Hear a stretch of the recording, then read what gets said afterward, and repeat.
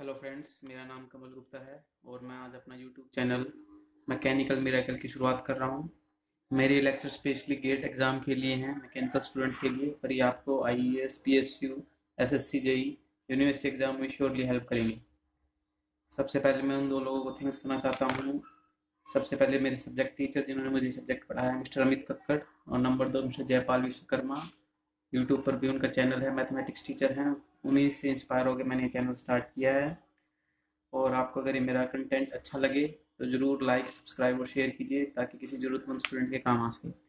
तो आज हम स्टार्ट करने जा रहे हैं थ्योरी ऑफ़ मशीन टोम आपको पता ही है उसमें दो पार्ट हैं कोम और डोम कोम का मतलब है काइनामेटिक्स ऑफ़ मशीन और डोम का मतलब है डायनेमिक्स ऑफ़ मशीन काइनामेटिक्स सबसे पहले डिस्कस कर लेते हैं what is do mean by the kinematics what do mean by the kinematics kinematics is the study of motion without considering the basic cause of the motion देखिए basic cause किसी भी motion का क्या होता है? फोर्स होता है और फोर्स आपने बचपन से पढ़ाया है। Force is equal to M A जहाँ फोर्स होगा, वहाँ मास आएगा।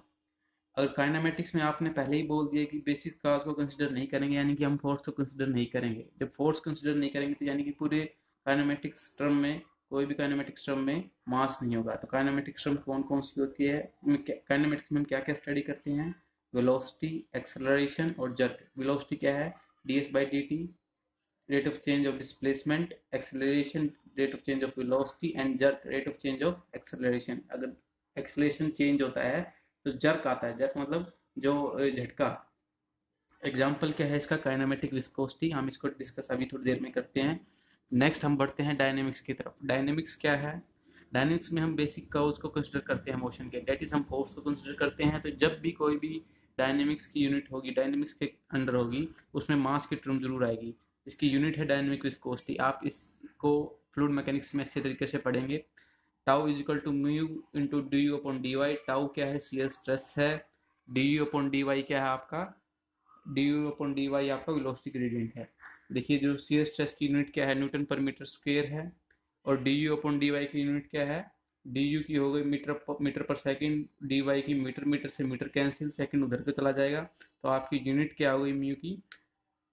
या तो आप न्यूटन पर मीटर स्क्वायर सेकंड बोल सकते हो, न्यूटन पर मीटर स्क्वायर सेकंड को हम पास कर बोल सकते हैं आपको पता है। न्यूटन में आपको अब आते हैं, बात करते हैं हम काइनामेटिक विस्कोसिटी काइनामेटिक विस्कोसिटी क्या है? Dynamic viscosity upon divide by the density newton को हम क्या लिख सकते हैं? के जी पर मीटर के जी पर सेकेंड स्क्वेयर इंटू मीटर आपको पता ही है के जी मीटर पर सेकंड स्क्वेयर हम लिख सकते हैं। जब आप उसको डेंसिटी से डिवाइड करोगे डेंसिटी होती है मास अपॉन वॉल्यूम तो ये मास से के जी से के जी की टर्म कट जाएगी। यानी कि उसमें आपका मास की कोई टर्म आने वाली नहीं है। समझ गए आप? इसके बाद हम बात करते हैं स्टार्टिंग में। सबसे बेसिक चीज़ है काइनेमेटिक लिंक और एलिमेंट देखिए, एक ये मैकेनिज़्म है, इसको सिंगल स्लाइडर क्रैंक मैकेनिज्म भी बोलते हैं। इसमें क्या है? ये आप, ये एक तरीके से आपका जो बेसिक इंजन है, उसको शो कर रहा है। देखिए, ये क्या है? ये आपकी क्रैंक है, ये कनेक्टिंग रोड है, और ये सिलेंडर है। सिलेंडर है या पिस्टन बोल, ये सॉरी पिस्टन है। अब टॉम में हम क्या करते हैं? सबसे पहले नंबर ऑफ़ लिंक्स को काउंट करते हैं। ये नंबर लिंक जो ग्राउंड है, वो आपका एक नंबर लिंक है। हमेशा फिक्स को एक नंबर लिंक मतलब एक लिंक काउंट करते हैं। लिंक नंबर टू ये है लिंक नंबर थ्री ये है लिंक नंबर फोर आपका ये स्लाइडर है। अब देखिए ये जो स्लाइडर मूव कर रहा है, ऐसे मतलब कि लीनियरली तो जो ये लीनियरली मूव कर रहा है, यहाँ पर भी ये लिंक नंबर वन है, क्योंकि सेम ये आपका लिंक है नंबर वन यहाँ पर भी, यहाँ पर भी, क्योंकि ये फिक्स लिंक है। फिक्स लिंक जहाँ भी होगा, उनको हम सेम काउंटिंग देंगे। नंबर वही सेम एक ही लिंक कंसिडर करेंगे, चाहे कहीं भी हो। तो लिंक नंबर वन ये होगा तो ये नंबर ये चार लिंक है इस पूरे एलिमेंट में बेसिकली चार लिंक बोल सकते हो या एलिमेंट बोल सकते हो। आप उस लिंक की नेसेसिटी क्या है? देखिए, मैं डेफिनेशन को यहाँ नहीं बता रहा हूँ। डेफिनेशन आप बुक से पढ़ सकते हैं। मैं जो बेसिक मीनिंग है, उसको बता रहा हूँ। नेसेसिटी क्या है? Must be resistant body and capable of transmitting power and motion from one element to the another element देखिए रेजिस्टेंस बॉडी होनी चाहिए ये। मतलब कि ये रेजिस्ट रेजिस्ट करे फोर्स को। ये नहीं डिफॉर्म हो जाए, ठीक है?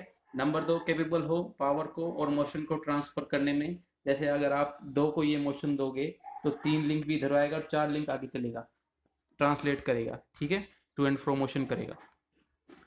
क्लासिफिकेशन की बात करूँ मैं तो तीन तरह के क्लासिफिकेशन है लिंक के। Rigid link flexible link fluid link ठीक है? Rigid link flexible link and flu fluid link first of all rigid link में क्या है? डिफॉर्मेशन नेग्लिजिबल होगी। बिल्कुल, अगर मान लीजिए ये लिंक है टू और थ्री आपके एक तरीके से डिफॉर्मे, डिफॉर्मेशन नेग्लिजिबल है ये रिजिड लिंक की तरह काम कर रहे हैं। मैंने आपको बताया कनेक्टिंग रोड है सिलेंडर है पिस्टन है, और ये क्रैंक भी आ सकती है इसमें। फ्लेक्सिबल लिंक डिफॉर्मेशन होगी विद इन लिमिट होगी, लेकिन जैसे बेल्ट है रोप है, ये भी आपका एक तरीके से लिंक का काम कर सकते हैं और इनमें डिफॉर्मेशन आएगी। आप देख सकते हैं इसमें स्लैग टेंशन होता है। फ्लूड लिंक देखिए इंटरेस्टिंग है पॉइंट है। Power is transmitted because of the fluid pressure. देखिए, जितने भी आपके हाइड्रोलिक लिफ्ट है, रेम है, जैक है, वो इसके अंडर आती है, ठीक है? यहाँ पर फ्लूड लिंक की तरह एक्ट करता है। एक एग्ज़ाम्पल देखो आप। ये आपका हाइड्रोलिक लिफ्ट और रैम है। यहाँ पर मैंने प्रेशर अप्लाई किया, फ्लूड ने प्रेशर को ट्रांसमिट किया और इसने हैवी ऑब्जेक्ट को उठा दिया। तो ये फ्लूड की वजह से यहाँ पर पावर ट्रांसमिशन हुई है, ठीक है? यहाँ पर फ्लूड लिंक की तरह एक्ट कर रहा है। लेकिन कई बार क्वेश्चन आता है जो फ्लूड मशीनरी में क्या होता है फ्लूड टर्बाइन के आगे आकर उसको टकराता है और उस ब्लेड को रोटेट करवाता है।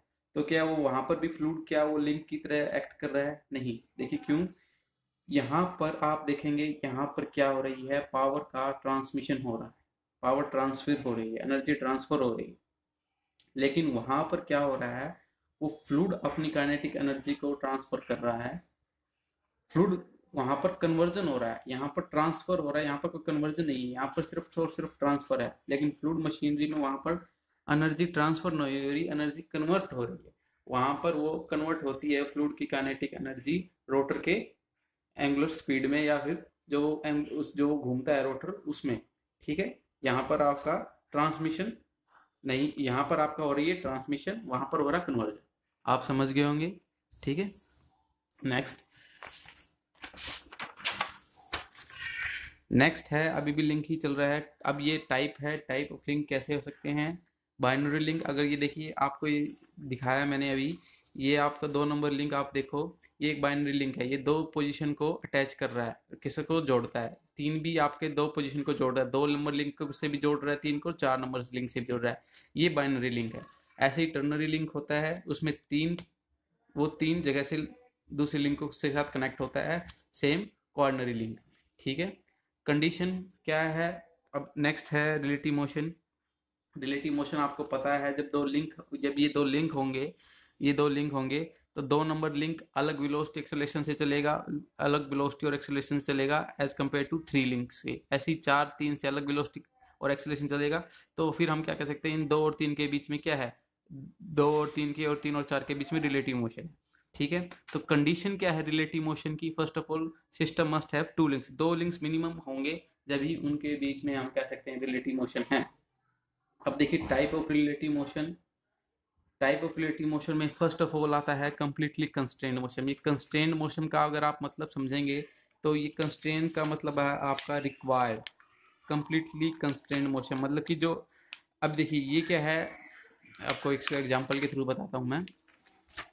देखिए ये ये दो लिंक आपके लिंक नंबर वन ये है और लिंक नंबर टू इसके अंदर स्लॉट के अंदर है और लिंक नंबर टू जो है उसका क्रॉस सेक्शन कुछ ऐसा है। अब आप देखेंगे ये जो लिंक नंबर दो है वन के अंदर रोटेट नहीं कर सकता, सिर्फ़ और सिर्फ़ टू एंड फ्रो मोशन कर सकता है। मतलब कि ये सिर्फ़ टू एंड फ्रो मोशन कर सकता है।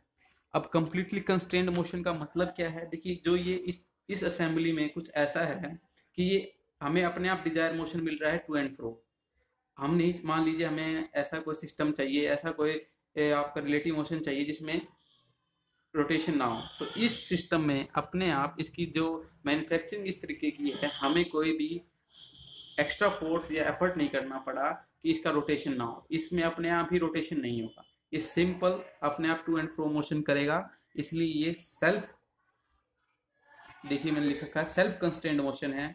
और यही एक्चुअली में क्या होता है हमारा डिज़ायर ही ये होता है कि हमें जो चीज़ चाहिए, हमारा, हमें चाहिए था कि सिर्फ़ टू एंड फ्रो मोशन हो। तो ये डिज़ायर मोशन को हम यहाँ शो कर रहे हैं।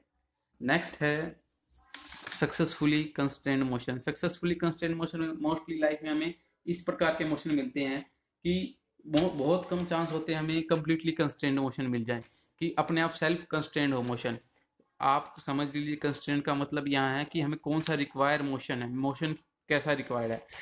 हमें सक्सेसफुली कंस्टेंट मोशन का मतलब है कि यहाँ पे जो हमें मोशन चाहिए with the help of force हम वैसा मोशन को प्राप्त करते हैं। हमें ये नेचुरली अक्कर नहीं होता नेचुरली अक्कर नहीं होता। जैसे आपको पता है, ये पिस्टन सिस्टम सिलेंडर अरेंजमेंट आपका, ये पिस्टन है, ये सिलेंडर है आपका, और ये कनेक्टिंग रोड है। नंबर वन लिंक सिलेंडर आपका नंबर दो लिंक आपका पिस्टन है नंबर तीन लिंक आपका कनेक्टिंग रोड है। देखिए, आपको पता है कि पिस्टन और सिलेंडर के बीच में क्लियरेंस है। यहाँ पर और यहाँ पर चाहे तो ये पिस्टन यहाँ पर इस, इस सिलेंडर के अंदर रोटेट भी हो सकता है। परंतु आपने देखा होगा जब इस सिलेंडर और पिस्टन अरेंजमेंट में किसी भी इंजन में कि सिर्फ़ और सिर्फ़ piston to and fro motion करता है टू एंड फ्रो मोशन करता है लेकिन वो रोटेट नहीं होता। वो क्यों नहीं होता? जो कनेक्टिंग रोड है वो आपके आपने सेंट्रल लाइन से इस तरीके से कनेक्ट कर रखी है कि उसमें कोई भी टॉर्क आता ही नहीं है। कोई भी वो टॉर्क ही हमेशा रिस्पॉन्सिबल होता है किसी भी सिस्टम को रोटेट कराने के लिए। ऐसे ही ये देखिए, shaft in foot step bearing number two में। आप देखिए, इसमें क्या है, जो ये आपकी शाफ्ट है, इसके ऊपर मैंने फोर्स लगा रखा है। अब ये क्या कर सकती है, ये सिर्फ़ इसमें रोटेट तो कर सकती है, ओनली रोटेट, पर एक्शियल मूवमेंट नहीं कर सकती। अब देखिए, हमारा यहाँ पर रोटेशन डिज़ायर मोशन है। हमें यहाँ पर एक्सियल मूवमेंट नहीं चाहिए, जबकि यहाँ पर हमें एक्सियल मूवमेंट हमारा डिज़ायर मोशन था, हमें रोटेशन से मतलब नहीं था। यहाँ पर हमने with the help of force क्या किया है, उसको कंस्ट्रेंड किया है, हमें रिक्वायर्ड मोशन मिला है with the help of force same इसी प्रकार जो सिरिंज होती है डॉक्टर के पास, देखिए वो सिंपल अगर जब नॉर्मल कंडीशन में आप देखेंगे, देखिए नंबर लिंक ये जो आपकी कैप हो गई, बाहर वाली कैप और नंबर दो ये सिरिंज आपकी लिंक हो गया। देखिए किसी भी रिलेटिव मोशन के लिए दो लिंक हर हर केस में, यहाँ पर भी हैं, यहाँ पर भी है, यहाँ पर भी हैं। ऊपर वाले केस में भी कंस्टेंट मोशन के केस में भी आपने देखे हैं, दो लिंक थे। तो इस रेंज में आप देखिए, ये नॉर्मल कंडीशन में रोटेट भी करती है और ट्रांसलेट भी करती है। बट जब ये सक्शन करती है मेडिसिन का तो उस केस में ये रोटेट नहीं करती है। उस केस में ये रोटेट नहीं करती है तो ये सक्सेसफुली कंस्टेंट मोशन है। समझ रहे हैं आप बात को? ये सक्सेसफुली कंस्टेंट मोशन है। देखिए, अभी तक हमने पढ़ा लिंक लिंक के classification rigid link flexible link और फिर हमने पढ़ा फ्लूड लिंक फिर उसके बाद टाइप्स पढ़े बाइनरी टर्नरी और कॉर्नरी उसके बाद हमने टाइप जो लिंक्स हैं, उनके बीच में किस प्रकार रिलेटिव मोशन हो सकते हैं, हमने तीनों पढ़े, दो पढ़ लिए हैं हमने। एक तो है, एक तो आपका सक्सेसफुली कंस्टेंट मोशन सेकंड है आपका completely constant motion completely constant motion self है, जबकि successfully constant with the help of force है। नेक्स्ट हम पढ़ रहे हैं incompletely constant motion incompletely constant motion ये है, कुछ ऐसा है आपका? देखिए, ये जो बाहर वाला जो एलिमेंट नंबर वन है और अंदर शाफ्ट है element number two, let me मैं आपको दिखाता हूँ पेन से। ये आपका लिंक नंबर वन है और ये आपका लिंक नंबर टू है। दिख रहा होगा आपको? अब ये देखिए, अगर ये जो अंदर वाला जो लिंक है, उसका क्रॉस सेक्शन कुछ आपका सर्कुलर है तो वो सिंपल सी बात है आपका ट्रांसलेट भी कर सकता है और रोटेट भी कर सकता है। यहाँ पर रोटेशन प्लस ट्रांसलेशन दोनों मिलेंगे आपको और ये अनकंस्टेंट मोशन है। अनकंस्टेंट मतलब इनकम्प्लीटली कंस्टेंट बोल दो या अनकंस्टेंट मतलब ये रिक्वायर्ड मोशन नहीं है हमारा, ठीक है? मतलब तीन प्रकार के मोशन है, एक तो किया, जिसको कंस्टेंट किया जा सकता है, एक नेचुरली कंस्टेंट हो, एक जो कंस्टेंट अनकंस्टेंट मोशन ठीक है? नेक्स्ट हम बढ़ते हैं काइनेमेटिक पेयर की तरफ़। पेयर और ज्वाइंट देखिए फिर से सेम फिगर को मैं यहाँ दिखा रहा हूँ आपको। देखिए, एक जो लिंक है, वो दो लिंक के साथ जुड़ा हुआ है, दो लिंक तीन लिंक के साथ जुड़ा हुआ है, तीन चार के साथ जुड़ा हुआ है चार एक के साथ वापस कनेक्ट है। तो कोई भी दो लिंक जो आपस में जुड़े हुए हों, ठीक है, उनको आप पेयर बोलोगे। वन और टू टू और थ्री थ्री और फोर और फोर और वन ये आपस में कनेक्टिक पेयर और ज्वाइंट है, ठीक है? इनमें कनेटिक पेयर होने या ज्वाइंट होने की सिर्फ़ एक ही नेसेसिटी कंडीशन है। There will be relative motion between the link मतलब दो और तीन के बीच में क्या होना चाहिए आपका?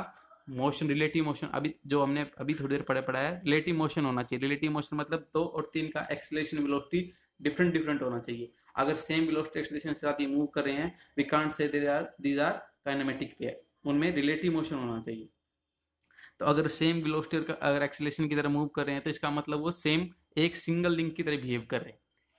Classification of the kinematic pair kinematic pair का हम क्लासिफिकेशन करें उन, देखिए, दो पेयर के बीच में रिलेटिव मोशन कैसा है, उसके अकॉर्डिंग भी हम उसको क्लासीफाई कर सकते हैं। नंबर एक टर्निंग पेयर टर्निंग पेयर और इसको पिन ज्वाइंट भी बोलते हैं और रिवोल्यूट ज्वाइंट पेयर भी बोलते हैं। जैसे मैंने आपको दिखाया है लिंक नंबर वन ये है लिंक नंबर टू ये है। अगर यहाँ मैं इसको पिन से जोड़ दूँ तो सिर्फ़ और सिर्फ़ ये एक तरीके से टर्निंग पेयर हो गया है, ठीक है? अब यहाँ पर देखेंगे टर्निंग पेयर है, सिर्फ़ टर्न कर सकता है।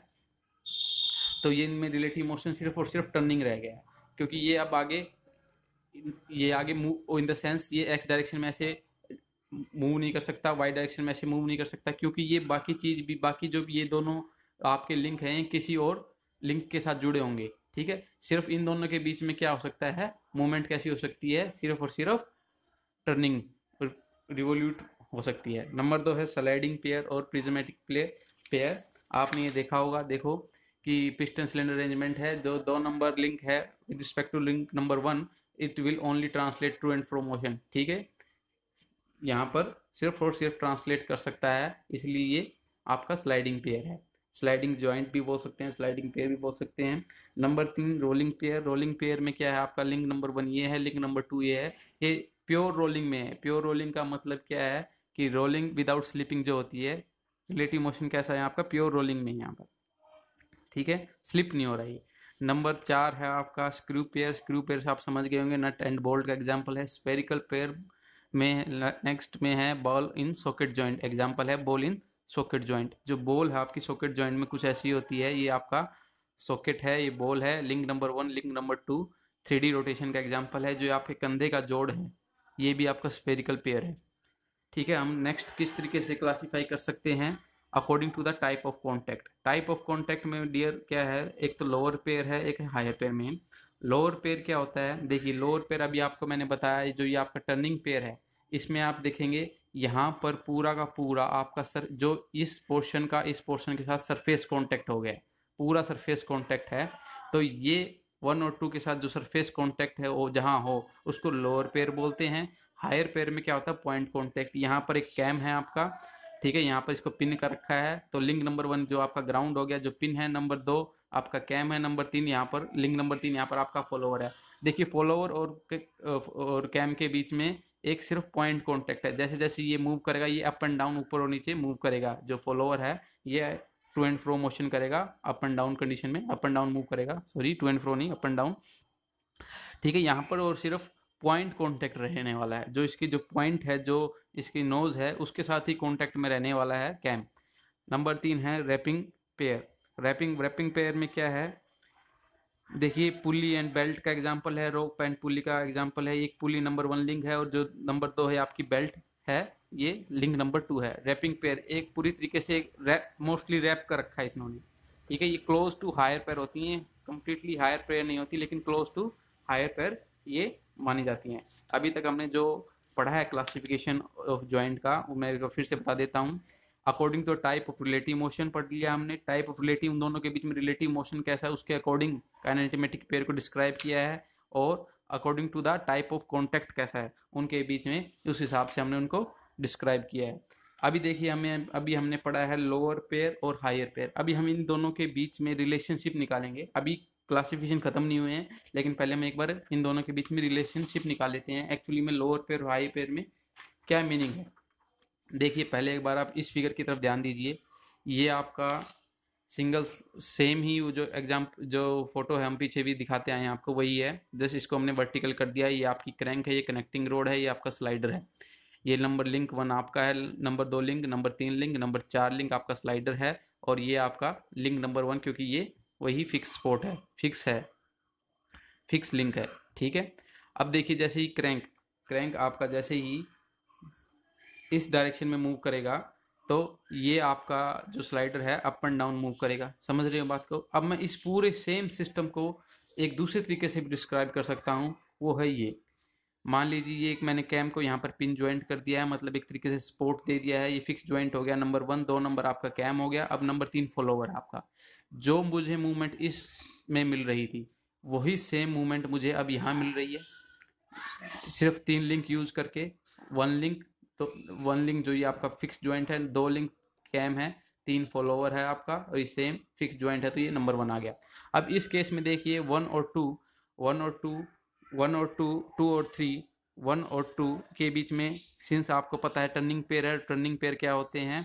टर्निंग पेयर हमेशा लोअर लोअर पेयर होते हैं। लोअर पेयर यहाँ है टू और टू और टू और थ्री के बीच में भी लोअर पेयर है यहाँ। और थ्री और फोर के बीच में भी लोअर पेयर है, क्योंकि पूरा का पूरा सरफेस कांटेक्ट में है और वन और फोर के बीच में भी सरफेस कांटेक्ट में है पूरा दोनों साइड से। तो ये सारे के सारे आपके पेयर कैसे हैं? लोअर पेयर हैं। जबकि इस केस में वन और टू आपका लोअर पेयर है, आप ध्यान से देख सकते हैं, यहाँ पर इनमें सरफेस पॉइंट कॉन्टैक्ट है और थ्री और वन भी क्या है आपका लोअर पेयर है, लेकिन टू और थ्री आपका हायर पेयर है। अब गौर करने वाली बात है, यहाँ चार लोअर पेयर थे, यहाँ दो लोअर दो लोअर पेयर हैं और एक हायर पेयर है। और हमें सेम काइंड ऑफ़ मोशन मिल रहा है इक्वलेंट मोशन मिल रहा है। तो इसका क्या मीनिंग है? इसका मीनिंग ये है कि one higher pair is equivalent to the two lower pair समझ रहे हो? क्योंकि one higher pair is equivalent इसने दो लोअर पेयर को इक्वलेंट है, क्योंकि उन एक हायर पेयर ऐड करने से हमें सेम काइंड ऑफ़ मोशन मिल रहा है, जहाँ, जो हमें चार लोअर पेयर देते थे। आप समझ रहे हैं, अब हम वापस अपना कंटिन्यू करते हैं क्लासिफिकेशन को। अभी तक देखिए पेयर में हमने टाइप किस प्रकार क्लासीफाई किए हैं? According to the according to the relative motion according to the contact हमने फिर उसमें हाई और लोअर पेयर पढ़ा था। उनके बीच में मैंने रिलेशनशिप आपको दिखाया। हम वापिस अब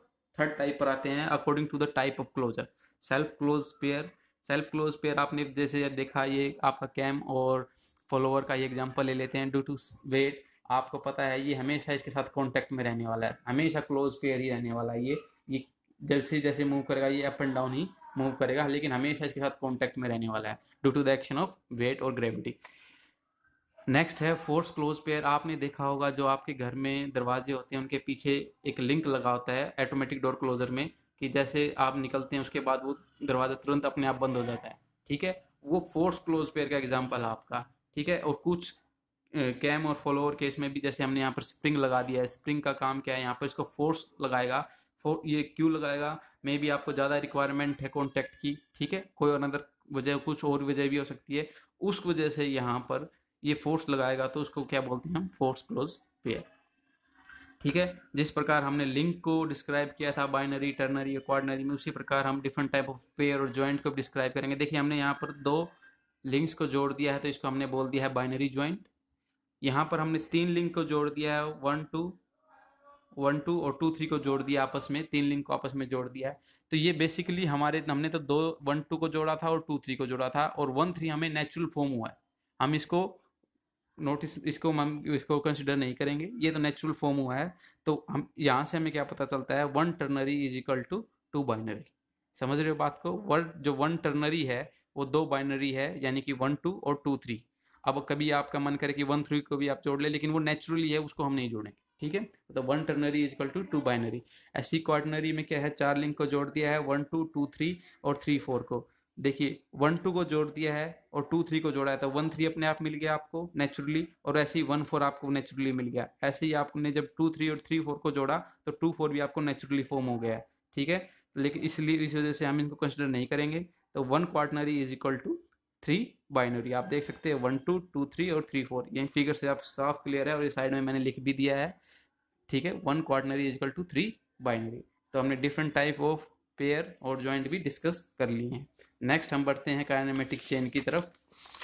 काइनेमेटिक चेन क्या है? काइनेमेटिक चेन क्या है? डियर ये आपको फिगर आपको ज्ञात है, नंबर लिंक वन ये है, नंबर लिंक टू ये है, नंबर तीन लिंक ये है, नंबर चार का स्लाइड है जो ट्रू एंड फ्रो मोशन कर रहा है, जब ये इस तरफ़ मूव करेगी लिंक और नंबर वन लिंक सेम वापस यहाँ आ गया है सेम रिजिड लिंक है रिजिड लिंक और फिक्स लिंक है सॉरी ठीक है काइनेमेटिक चेन आपको पता है, ये पूरी इसको काइनेमेटिक चेन ये पूरी काइनेमेटिक चेन है, लेकिन इसको काइनेमेटिक चेन बोलेंगे कब, ठीक है, इसकी तीन कंडीशन है फ़र्स्ट लिंक जो है, वो connecting to the last link होना चाहिए, देखिए जो फ़र्स्ट लिंक ये था, ठीक है अब फ़र्स्ट लिंक ये था और लास्ट लिंक ये चार है। लेकिन ये आप ध्यान करेंगे, यहाँ पर ये भी फ़र्स्ट लिंक है, क्योंकि फिक्स लिंक है ना, जहाँ जहाँ पर फिक्स होगा, उसको सेम नंबरिंग देते हैं, मैं आपको पहले ही बता चुका हूँ। तो फ़र्स्ट लिंक जो लास्ट लिंक फ़र्स्ट लिंक के साथ कनेक्ट होना चाहिए, उसको चेन बोलेंगे, ठीक है? और इनमें, सारी चेन में क्या होना चाहिए? रिलेटिव मोशन होना चाहिए। सेम कंडीशन है जो काइनेमेटिक पेयर वाली थी। All relative motion in this close chain are the constraint constraint मतलब डिज़ायर मोशन होना चाहिए, जिस प्रकार का आप चाहते हैं, जिस प्रकार का आप चाहते हैं। ठीक है? एंड थर्ड जो है आपकी जो पहले मैं डिस्कस कर चुका हूँ one link must be fix kinematic chain के लिए one link must be fix देखिए जो ये चेन है, ये जो चेन है, अगर इसमें मैं इनपुट दूँ कुछ, अगर मान लीजिए जो एक, दो, तीन, चार वाली आपकी चेन काइनेमेटिक चेन है, क्योंकि चार लिंक है, ये चेन की तीनों कंडीशन को फुलफिल कर रहा है। फ़र्स्ट लिंक लास्ट लिंक के साथ कनेक्ट है, और आपका फिक्स भी है एक लिंक ठीक है? अब जैसे ही मैं इसमें मोशन दूँगा नंबर लिंक नंबर दो में इस तरफ़, ठीक है? तो चार नंबर लिंक इस तरफ़ मूव करने लग जाएगा। चेन को ही मैकेनिज्म बोलेंगे जब आप इसको इनपुट देंगे और वो आपको इनपुट की वजह से जहाँ पर आपको आउटपुट मिले, ये आउट को आउटपुट मिलेगा, ये आपका इनपुट है, ठीक है? तब इसको मैकेनिज्म बोलेंगे। जब इसमें इन, जब किसी चैन में इनपुट दिया जाए और आउटपुट प्राप्त हो तो उसको हम मैकेनिज्म बोलते हैं, ठीक है? अब उसी मैकेनिज्म को अगर हम यूटिलाइज करिए तो आपको मैकेनिज्म दिख रहा है, सिर्फ़। अब इसी चीज़ को हम यूटिलाइज करें तो ये मशीन बन जाती है। अब इसी को देखो, इसी मैकेनिज्म को हम सिर्फ़ पंचिंग मशीन में भी यूज़ कर सकते हैं। इसको हम पंच मान ले, यहाँ पर हम प्लेट लगा दें। समझ रहे हो बात को? यहाँ पर अगर मैं प्लेट लगा दूँ, यहाँ पर मैं प्लेट लगा दूँ, अब ये पंच आएगा, उसमें से पंच कर देगा और फिर वापस चला जाएगा। फिर इस प्लेट को आगे सरका दूँ, फिर पंच करेगा, फिर आगे चला जाएगा। तो इस जब मैकेनिज्म को यूटिलाइज मैंने किया तो it will act as a machine समझ रहे हो बात को? क्या डिफरेंस है चैन में मैकेनिज्म में और मशीन में। चैन बेसिकली चीज़ तो चैन ही मैकेनिज्म है, लेकिन उसमें इनपुट और आउटपुट का फ़र्क है, और जब उनको यूटिलाइज करने लग जाएँ तो वो क्या हो जाएगी? मशीन का काम करेगी। नेक्स्ट नेक्स्ट है degree of freedom degree of freedom और मोबिलिटी डिग्री ऑफ़ फ्रीडम की डेफिनेशन क्या है? Minimum number of independent variable required to define the position और मोशन ऑफ़ ए सिस्टम ठीक है? देखिए, इसको जनरली जो सिंपल तरीके समझते हैं डेफिनेशन तो आप चैन की लिंक की एलिमेंट की और पेयर की आप बुक से पढ़ लेंगे, जो मीनिंग क्या है डिग्री ऑफ़ फ्रीडम का, वो समझते हैं। देखिए, एक ऑब्जेक्ट था आपका ऑब्जेक्ट मैंने कोऑर्डिनेट सिस्टम में रख रखा है, ये एक्स डायरेक्शन है, ये वाई डायरेक्शन है ये जेड डायरेक्शन ये देखिए ऑब्जेक्ट अगर किसी प्रकार से इसके ऊपर कोई भी पाबंदी ना हो तो एक्स डायरेक्शन में मूव कर सकता है वाई डायरेक्शन में मूव कर सकता है और जेड डायरेक्शन में मूव कर सकता है। सिंपली एक्स डायरेक्शन में रोटेशन कर सकता है वाई में रोटेशन कर सकता है और जेड में रोटेशन कर सकता है। आप समझ गए होंगे। तो मैक्सिमम नंबर ऑफ़ मोशन इसके सिक्स हो सकते हैं। अगर अब मैं डिग्री ऑफ़ फ्रीडम की बात करूँ, इस समय तो इसके डिग्री ऑफ़ फ्रीडम सिक्स है। मान लीजिए मैंने यहाँ पर कोई रिस्ट्रिक्शन लगा दी, अब ये एक्स डायरेक्शन में मूव नहीं कर सकता। ठीक है? ये भी यहाँ पर एक्स डायरेक्शन में इसका मोशन पॉसिबल ही नहीं है। तो डिग्री ऑफ़ फ्रीडम क्या हो गई? सिक्स जो मैक्सिमम नंबर ऑफ़ मोशन हो सकते थे माइनस रेजिस्ट्रेंट रेजिस्ट्रेंट इसका मतलब क्या मोशन विच आर नॉट पर पॉसिबल और परमिटेड ठीक है? ये डिग्री ऑफ़ फ्रीडम का आपका फॉर्मूला हो गया। अब लोअर पेयर के केस में देखते हैं। लोअर पेयर में दो आपके लिंक आ जाएँगे। ठीक है? अब देखिए, दो दो लिंक आ गए अब ये। ठीक है? अब इनके बीच में सिर्फ़ और सिर्फ़ रोटेशन ही पॉसिबल है। तो इसकी डिग्री ऑफ़ फ्रीडम क्या है? दो लिंग्स के बीच में लोअर पेयर के बीच में इसकी डिग्री ऑफ़ फ्रीडम वन है। हायर पेयर की डिग्री ऑफ़ फ्रीडम दो हो जाएँगी, क्यों? आपको पता है one higher pair is equal to two lower pair जैसे हमने पीछे डिस्कस किया है। एक एक्सेप्शन है, उसको आप याद रखिए स्पेरिकल पेयर है। सो स्पेरिकल पेयर ऐसे तो होता तो लोअर पेयर है लोअर पेयर है, लेकिन उसकी डिग्री ऑफ़ फ्रीडम तीन है। इसको आप याद रखेंगे। इस इसी प्रकार जो थर्मोडाइनमिक्स है थर्मोडाइनमिक्स में भी आपके डिग्री ऑफ़ फ्रीडम तीन है। ठीक है? पीवीटी ये आपके डिग्री ऑफ़ फ्रीडम नेक्स्ट अभी तक अब हम पढ़ रहे हैं degree of freedom of the planar mechanism two D planar mechanism आपके गेट के सिलेबस में सिर्फ़ टू डी प्लेनर मैकेनिज्म की डिग्री ऑफ़ फ्रीडम निकालना है थ्री डी की नहीं है तो हम टू डी तक ही रहेंगे। देखिए, एक ऑब्जेक्ट है सिंपल एक लिंक है, मान लीजिए एक्स वाई प्लेन है। प्लेन आप समझ गए होंगे, जैसे कागज़ है, ये प्लेन ये प्लेन है। मतलब हम जेड डायरेक्शन में नहीं जा सकते, अब एक्स और वाई में रहेंगे, इसको प्लेन बोलते हैं, ठीक है? जेड डायरेक्शन में चले जाएँगे तो वो थ्री थ्री डी हो जाएगा। वाई और एक्स में रहेंगे तो वो टू डी ही है। तो टू डी प्लेन मैग्नेज्म से ही हमें डील करना है। तो ये जो लिंक है आपका, ये एक्स डायरेक्शन में भी जा सकता है और वाई डायरेक्शन में भी जा सकता है और ये रोटेट भी कर सकता है इस प्लेन में। मान लीजिए ये जो लिंक ये है आपका, ये आपका एक्स डायरेक्शन में भी जा सकता है और वाई डायरेक्शन में भी जा सकता है और साथ के साथ रोटेट कर सकता है। ठीक है? ये आपके मैक्सिमम नंबर ऑफ़ मोशन कितने हैं इस लिंक के और ऑब्जेक्ट के? टू ट्रांसलेशन एक्स और वाई में वन रोटेशन तो तीन है। ठीक है? अब हम डिग्री ऑफ़ फ्रीडम हमें, लेकिन हमें किसकी, ये तो एक सिर्फ़ लिंक की है। हमें अब पूरे सिस्टम पूरे मैकेनिज्म की निकालनी है। इस पूरे सिस्टम की डिग्री ऑफ़ फ्रीडम क्या है? जिसमें नंबर ऑफ़ लिंक कितने हैं? एक, दो, तीन और चार। चार लिंक है, उसकी degree of freedom of mechanism degree of freedom of planar mechanism निकालने के लिए रूल दिया हुआ है किट्सबैक ने। किट्सबैक इक्वेशन है F is equal to three time of L minus one minus two J minus H minus F R ये देखिए सब चीज़ें मैं आपको बताता हूँ। एल क्या है? नंबर ऑफ़ लिंक्स है। लिंक्स आपको पता है, यहाँ चार हैं, ठीक है?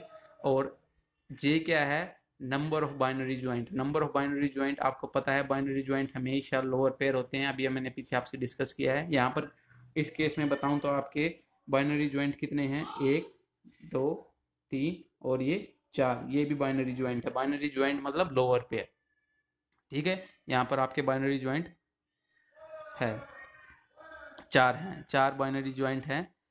या तीन है? बताइए।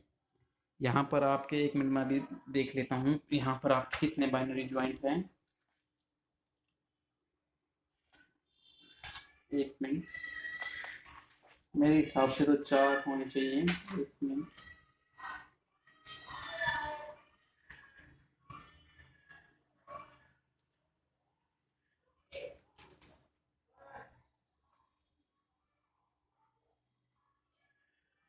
हाँ जी, चार ही हैं आपके, बिल्कुल ठीक, तीन नहीं है, चार ही हैं, चार हैं बाइनरी ज्वाइंट और एच क्या है? Number of higher pair number of higher pair ठीक है? नंबर ऑफ़ हायर पेयर कितना हो जाएगा? देखिए, इस केस में नंबर ऑफ़ हायर पेयर इस केस में तो कोई भी नंबर ऑफ़ हायर पेयर नहीं है। हायर पेयर आपको पता है क्या होता है? पॉइंट कॉन्टैक्ट होता है, यहाँ पर कोई पॉइंट कॉन्टैक्ट नहीं है। अगर, और नंबर तो एच यहाँ पर ज़ीरो एफ़ आर हर मोशन में, जैसे एच जैसे हर हर मैकेनिज्म में एच नहीं होता है वैसे ही एफ़ आर भी हर मैकेनिज्म में नहीं होता। एफ़ आर क्या है? Number of those motion which are not the part of this mechanism ठीक है? देखिए, मैंने नीचे मतलब इसको मैं आपको आगे बताऊँगा। इस एग्जांपल को मैं नीचे भी सोल्व कर रखा है। ये आपका लिंक आपके चार हैं। नंबर जो बाइनरी ज्वाइंट है, वो भी आपके चार हैं। एक ज्वाइंट ठीक है? एक ज्वाइंट दो ज्वाइंट तीन ज्वाइंट और चौथा ज्वाइंट आपका नंबर वन और चार लिंक के, क्योंकि बाइनरी ज्वाइंट का मतलब है हाइयर पेयर हाइयर पेयर है, ठीक है? तो ये चार और एक के बीच में भी sorry lower pair binary joint का मतलब है लोअर पेयर और यहाँ पर एक और चार के बीच में भी आपका लोअर पेयर है। ठीक है? एच आपका हायर पेयर यहाँ पर ज़ीरो है और एफ़ आर क्या है? Number of those motion which are the not a part of this mechanism अभी इस पॉइंट को मैं आपको नेक्स्ट स्लाइड में समझाऊँगा। तो यहाँ पर एफ़ आर कोई है नहीं, कोई ऐसा मोशन नहीं है जैसे आप इसको यहाँ मोशन देंगे तो तीन आगे चलेगा और चार टू एंड फ्रो मोशन करेगा। ठीक है? एफ़ आर ज़ीरो है। आप इस एल और एच इस एल और जे को इस इक्वेशन में पुट करेंगे तो आपका एफ़ कितना निकल के आएगा? डिग्री ऑफ़ फ्रीडम वन निकल के आएगा। अब इस वन का क्या मीनिंग है, वो भी हम आगे देखेंगे। अब हम एफ़ आर जो अभी मैंने आपको बताया the number of motion which number of those motion which are not part of this mechanism उसको हम डिस्कस करते हैं। देखिए ये आपका एक एग्जांपल है जिसमें लिंक नंबर वन ये है फिक्स लिंक है ग्राउंड लिंक है, दो नंबर लिंक ये है, तीन नंबर लिंक ये है, जो इन स्लॉट्स में है। नंबर चार लिंक ये है। अब ध्यान से देखें ये मोशन अगर यहाँ मैं अगर कुछ भी मोशन दूँ भी ना तो ये यहाँ पर रखने की टेंडेंसी रखता है। तो ये इस पूरे सिस्टम का, पूरे मैकेनिज्म का पार्ट नहीं है। ये सेल्फ एक तरीके से मतलब कि पूरे मैकेनिज्म का पार्ट नहीं है। समझ रहे हैं आप बात को? लिंक आपके चार ही हो गए। ज्वाइंट आपका एक ज्वाइंट ये, एक ज्वाइंट आपका ये, एक ज्वाइंट ये, एक ज्वाइंट ये। आपका चार ज्वाइंट है एच हायर पर यहाँ कोई है नहीं, और लेकिन जो रिडेंटेंट आप कह सकते हैं रिडेंटेंट मोशन जो सिस्टम का पार्ट नहीं है, वो एक है यहाँ पर यहाँ पर डिग्री फ्रीडम ज़ीरो आ गई। अब इस सेम क्वेश्चन में अगर मैं ये रोड को थोड़ा बैंड कर दूँ तो link one link two link three link four हैं। लिंक सेम है। लेकिन अब इसकी सेल्फ टेंडेंसी नहीं है मूव करने की, सरकने की। ज्वाइंट आपके वही चार हैं एफ़ आर यहाँ पर ज़ीरो हो गया और डिग्री फ्रीडम यहाँ पर आपकी एक हो गई है। ठीक है, अब degree of freedom of cam को डिस्कस कर लेते हैं हम। डिग्री ऑफ़ फ्रीडम वन आपका, जो आपको पता है, ये यहाँ पर क्या है? लोअर पेयर है, क्योंकि जो पिन है ज्वाइंट है पिन ज्वाइंट है यहाँ पर। नंबर दो पर लिंक आपका कौन सा हो गया? ये आपका हो गया ये कैम नंबर तीन फॉलोवर और ये जो जिस स्लॉट में ये अप एंड डाउन मूव कर रहा है तो यहाँ पर भी लिंक वन ही आ गया और यहाँ पर भी आपका क्या है लोअर पेयर है। तो लिंक आपके एक, दो, तीन हैं ज्वाइंट आपके फाइनली ज्वाइंट एक यहाँ हो गया, एक यहाँ हो गया, दो हैं और यहाँ पर एक आपका हाइयर पेयर हो गया, दो और तीन के बीच में। रिलेटेड मोशन यहाँ कोई है नहीं, ऐसा कोई भी मोशन नहीं है जो पार्ट ना हो सिस्टम का और जब भी आप इसको कर्ट्स बैक इक्वेशन में डालेंगे तो फ्री डिग्री ऑफ़ फ्रीडम आपकी एक आएगी। एक बात नोट करने लायक है यहाँ पर degree of freedom in cam is always one कोई भी क्वेश्चन आपको कैम का दिखे, उसमें आप डिग्री ऑफ़ फ्रीडम बेहिजक वन टिक कर सकते हैं, क्योंकि वो वन ही हो। हमेशा वन ही आएगा डिग्री ऑफ़ फ्रीडम इन आपका कैम में। आप देखिए, कुछ स्पेशल केस जिसमें ये एफ़ वन आ रहा है ज़ीरो आ रहा है टू आ रहा है, या फिर नेगेटिव आ रहा है, इनका मीनिंग क्या है? देखिए एफ़ ज़ीरो का मतलब है कि ये एक तरीके से स्ट्रक्चर और फ्रेम है। मतलब स्ट्रक्चर और फ्रेम का मतलब आप समझ गए होंगे। स्ट्रक्चर और फ्रेम का मतलब कुछ इस प्रकार जो आपने रेलवे ब्रिजेस पे देखे होंगे, उनको ऐसा कुछ आपने देखा होगा रेलवे ब्रिजेस पर, ठीक है?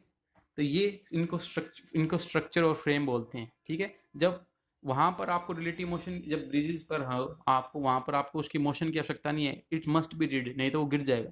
तो वहाँ पर हम डिग्री ऑफ़ फ्रीडम उस मैकेनिज्म की, उस सिस्टम की ज़ीरो रखते हैं। अब यहाँ पर देखो तीन लिंक है, एक, दो लिंक तीन लिंक को मैं इधर मूव करूँगा। ये दो लिंक तीन लिंक आगे जाएगा नहीं, ये टूट मोशन करेगा नहीं, बेशक ये टूट जाएगा। ये नंबर ऑफ़ जो दीज एंगल है don't going to be change ये एंगल फिक्स रहने वाले हैं। लिंक तीन है यहाँ पर ज्वाइंट आपके तीन है। एच हायर पर कोई नहीं है हायर पर कोई नहीं है। ज्वाइंट में अगर आपको दिक्कत हो रही है ज्वाइंट पता करने में, देखिए एक ज्वाइंट ये, एक ज्वाइंट ये, एक ज्वाइंट ये, तीन ज्वाइंट हैं आपके। डिग्री ऑफ़ फ्रीडम आप कर्जबर्ग इक्वेशन में डालोगे तो ज़ीरो आएगी। यहाँ पर कोई भी मोशन और पावर का ट्रांसमिशन नहीं है, बट फोर्स ट्रांसमिट होता है, जहाँ पर भी आपका फ्रेम ऑफ़ स्ट्रक्चर हो, यानी कि डिग्री ऑफ़ फ्रीडम ज़ीरो हो, वहाँ पर आपका सिर्फ़ और सिर्फ़ फोर्स ट्रांसमिट होगा, पावर और मोशन ट्रांसमिट नहीं होगी। एफ़ लेस देन ज़ीरो आ जाए, किसी केस में आपका लेस देन ज़ीरो आ जाए। देखिए, जैसे एग्जांपल है, ये नंबर वन लिंक ये है, फिक्स लिंक है, नंबर दो लिंक ये पूरा लिंक, नंबर दो लिंक है, नंबर तीन लिंक बीच में ये है, नंबर चार लिंक ये है। अब ये देखिए नंबर तीन लिंक की वजह से अगर मैं यहाँ पर इसमें मोशन देना भी चाहूँ तो ये जरा भी लिंक नंबर तीन इस नंबर लो लिंक को सरकने भी नहीं देगा। ये एक, एक तरीके से इसमें रुकावट आ गई है। अब इसी आपके चार लिंक हैं ज्वाइंट आपके कितने हो गए? एक ज्वाइंट दो ज्वाइंट तीन ज्वाइंट चार ज्वाइंट पाँच ज्वाइंट और पाँचों ज्वाइंट आपके बाइनरी ज्वाइंट है लोअर पेयर हैं। समझ रहे हो बात को? हायर पेयर कोई है नहीं। आप कर्जबे के क्वेश्चन में डालिए डिग्री ऑफ़ फ्रीडम आपकी माइनस वन आ जाएगी। ठीक है? एफ़ इजिकल टू वन की बात करूँ मैं F equal to one is the what which we are required that is kinematic chain जब भी आपकी डिग्री ऑफ़ फ्रीडम वन आ जाए, उसको आप काइनामेटिक चेन बोल सकते हैं कंस्ट्रेन चेन बोल सकते हैं। कंस्ट्रेन का मैंने मैं आपको पहले बता रखा है। रिक्वायर्ड मोशन जो हमें चाहिए, उसको हम कंस्ट्रेन बोलते हैं। लिंक चार हैं। चार ज्वाइंट हो गए आपके। एक, दो, तीन, चार। हायर पर कोई है नहीं। डिग्री ऑफ़ फ्रीडम वन आ गया। ठीक है? डिग्री ऑफ़ फ्रीडम वन का मतलब क्या है? जब आप एक इनपुट दोगे तो आपको एक आउटपुट जो रीड, जो रिक्वायर्ड आउटपुट है, वो मिल जाएगा। अगर यही ग्रेटर देन वन हो जाए, यानी कि टू थ्री फोर आ जाए, जैसे ये एग्जांपल आपका लिंक इसमें पाँच हो गए, आपके ज्वाइंट भी आपके पाँच हो गए, एक, दो, तीन, चार और पाँच, ये पाँच ज्वाइंट हो गए डिग्री ऑफ़ फ्रीडम दो आ गया। तो आपको इसमें मिनिमम टू इनपुट देने पड़ेंगे। जबकि हमारी कोशिश क्या रहती है कि इन नंबर ऑफ़ इनपुट कम से कम दिया जाए। इसीलिए हमें जो आपका एफ़ इजिकल टू वन को काइनेमेटिक चेन बोला और इस केस में आपके, आपको कम से कम दो मोशन देने पड़ेंगे रिक्वायर्ड आउटपुट के लिए। समझ रहे हो बात को? यहाँ पर सिर्फ़ आपको एक मोशन देना पड़ेगा। हमें एफर्ट ज़्यादा करने पड़ेंगे जहाँ पर डिग्री ऑफ़ फ्रीडम ज़्यादा होगा। समझ रहे हो बात को? क्यों ये रिक्वायर जो मतलब कि एफ़ इजिकल टू वन को हम प्रेफरेंस क्यों देते हैं? अब कुछ एग्ज़ाम्पल है, उसको आप समझिए। देखिए ये एग्ज़ाम्पल है आपका। दो एग्ज़ाम्पल हैं, इनमें हम समझते हैं, ये आपका ग्राउंड है। ये आपका ग्राउंड है लिंक नंबर वन फिर ये आपका link number two link number three link number four link number five link number six seven eight nine ten ये कुछ ऐसा आपका स्ट्रक्चर है, कुछ स्ट्रक्चर है या फिर कोई भी मैकेनिज्म है। अब हम देखते हैं। देखिए, इसमें पहले आपको समझने वाली चीज़ क्या आप पहले तो लिंक की नाम ले, मैंने ऑरेंज कलर से लिख दिए हैं। अब देखिए, जो ये ज्वाइंट है, जो जो ये ज्वाइंट है, ये कैसा ज्वाइंट है? ये टर्नरी ज्वाइंट है। इसने ये लिंक ये लिंक और ये लिंक को जोड़ा हुआ है। ये टर्नरी ज्वाइंट है सेम इसी तरीके से ये टर्नरी ज्वाइंट है सेम इसी तरीके से टर्नरी ज्वाइंट है ये जुड़ा हुआ है ये जुड़ा हुआ है ये जुड़ा हुआ है सेम इसी तरीके से ये टर्नरी ज्वाइंट है ये जुड़ा हुआ है ये जुड़ा हुआ है ये जुड़ा हुआ है ये भी टर्नरी ज्वाइंट है और ये भी टर्नरी ज्वाइंट है आप समझिए क्यों है ये ये से ये जुड़ा हुआ है ये जुड़ा हुआ है ये जुड़ा हुआ है ये क्यों है ये जुड़ा हुआ है ये जुड़ा हुआ है ये जुड़ा हुआ है समझ रहे हो बात को सिर्फ़ एक ही यहाँ पर बाइनरी ज्वाइंट है वो है ये सिर्फ़ यहाँ पर दो ही लिंक जुड़े हुए हैं समझ रहे हो बात को आप आप लिंक को अब आपको डिग्री ऑफ़ फ्रीडम निकालना है तो आपको सबसे पहले एल की ज़रूरत पड़ेगी। एल ये आपको टेन है, आपको पता है। और यहाँ पर अब ज्वाइंट आपको पता है one ternary joint is equal to two binary joint तो यहाँ पर आप, जहाँ जहाँ पर भी आपको टर्नरी ज्वाइंट दिखे, वहाँ पर आप two two two two two two लिख दी क्योंकि हमें सिर्फ़ जो जे होता है कट इक्वेशन में, वहाँ पर बाइनरी ज्वाइंट की आवश्यकता होती है। ठीक है? मैं आपको बताना भूल गया कि बाइनरी जो कर्जबैक इक्वेशन है, उसको कैसे याद रखते हैं और मैं इसके बाद आपको वो भी बता देता हूँ। उसको सिंपल ट्रिक क्या है उसको याद रखने की, ठीक है? दो दो दो दो दो, ये मैंने लिख लिए हैं। तो अब ये ज्वाइंट आप सारे काउंट करो। दो दो दो, छः, आठ, दस, बारह और तेरह। तेरह ज्वाइंट हैं आपके यहाँ पर। तेरह में से बारह जो आए हैं, छः टर्नरी ज्वाइंट है, उनकी वजह से। छः टर्नरी ज्वाइंट आप देख सकते हैं, छः जगह मैंने दो दो लिखा हुआ है और एक जगह सिर्फ़ बाइनरी ज्वाइंट है, वहाँ से ज्वाइंट आए हैं। अब आप इसको कर्जबैक इक्वेशन में डालोगे तो आपकी डिग्री ऑफ़ फ्रीडम वन आ जाएगी। अब यही क्वेश्चन मैंने सिर्फ़ और सिर्फ़ क्या किया? इस लिंक को क्वार्डली क्वार्डनरी लिंक बना दिया। क्वार्डनरी लिंक मैंने आपको बताया था। देखिए आपको यहाँ पर मीनिंग समझना होगा।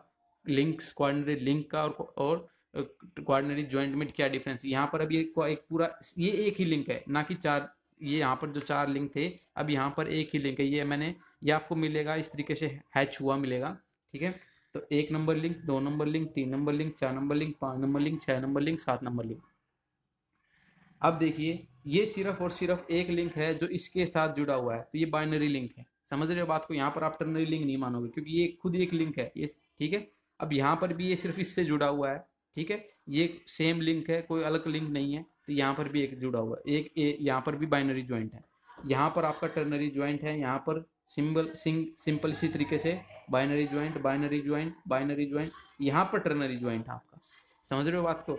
तो लिंक आपके यहाँ पर सात है, काउंट करेंगे, और आपका जो ज्वाइंट है, बाइनरी ज्वाइंट है, वो नौ है, क्यों है? दो तो आपके टर्नरी ज्वाइंट है, एक और दो, ठीक है? दो टर्नरी ज्वाइंट, यानी चार हो गए, binary joint, one ternary joint is equal to two binary joint, और पाँच आपके बाइनरी ज्वाइंट है, ठीक है?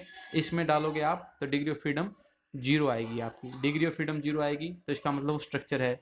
और degree of freedom less than zero आएगी, इसका मतलब वो सुपर स्ट्रक्चर है। समझ रहे हो बात को? आपको मैंने शायद आपको बताया भी है पीछे। वो सुपर स्ट्रक्चर होता है, जिसकी डिग्री ऑफ़ फ्रीडम आपकी लेस देन ज़ीरो होती है।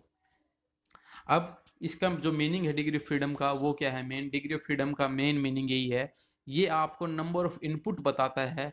आपको जो रिक्वायर्ड आउटपुट है इन चेन में, वो प्राप्त करने के लिए कितने आपको नंबर ऑफ़ इनपुट चाहिए? वो डिग्री ऑफ़ फ्रीडम बताता है। डिग्री ऑफ़ फ्रीडम अगर वन है आपका तो वो एक इनपुट चाहिएगा, दो है तो दो है, ठीक है? और ज़ीरो और वन के केस में आप समझ ही गए हैं कि ज़ीरो और माइनस वन के केस में आप समझ ही गए हैं कि वो सुपर स्ट्रक्चर हैं, वो हिलने वाले नहीं हैं, ठीक है?